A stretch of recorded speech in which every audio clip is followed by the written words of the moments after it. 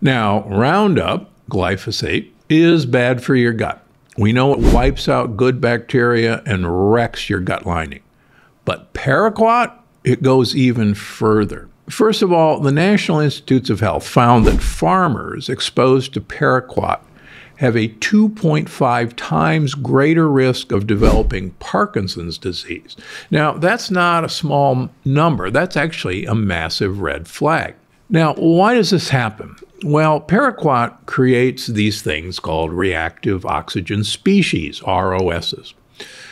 Basically, reactive oxygen species blow holes in your mitochondria. And once your mitochondria go down, your neurons, which require mitochondria to make energy, they start to die off. And that's when you see tremors, stiffness, and all those hallmark Parkinson's symptoms.